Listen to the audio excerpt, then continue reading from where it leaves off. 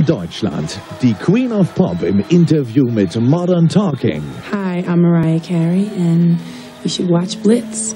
Die Pop-Diva hautnah und exklusiv. Das Mariah Carey trifft Modern Talking.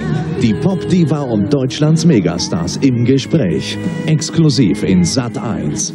Die Königin der Balladen hautnah. Jetzt in Blitz. Zufällig Deutschlands berühmtestes Duo, Modern Talking. Aber vorher traf Blitz Mariah Carey und zwar exklusiv. In Mariahs Karriere das Treffen mit Modern Talking. Die Abräumer aus deutschen Landen waren zufällig beim Sat1-Interview in der Nähe, wollten unbedingt mit dem Superstar talken.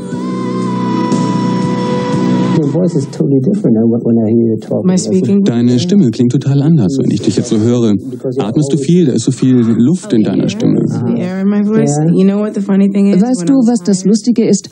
Je müder ich bin, desto weniger Luft habe ich. Wenn ich auf Tour bin, muss ich wenigstens 15 bis 16 Stunden schlafen, um diese luftige Qualität zu bekommen. Gerade für die hohen Töne. Wenn ich nicht schlafe, ist das sehr schlecht.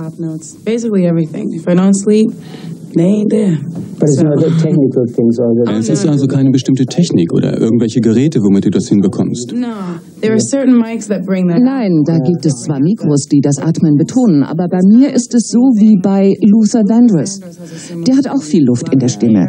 Er hat mir erzählt, dass es einen bestimmten Punkt in der Luftröhre gibt, durch den die Luft kommt und der schließt nicht ganz am oberen Teil. Ich war bei einem Stimmspezialisten und der sagte, dass der hohe Ton im obersten Teil der Luftröhre erzeugt wird. Also da, wo man selten hinkommt. Das ist das Geheimnis.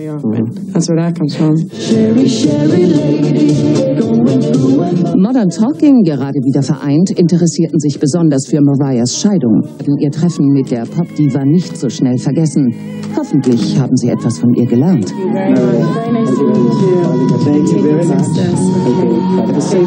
Thank you.